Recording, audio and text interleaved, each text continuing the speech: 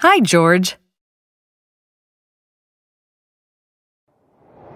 George will help you set up your brother machine to work with your router without security. He really wants to support you in an efficient manner.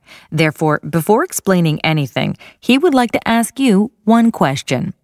Have you already set up your router?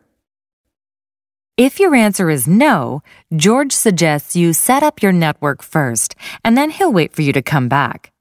If you need assistance, please contact your network administrator or router manufacturer. If your answer is yes, George is pleased to help you now. He needs to know your operating system.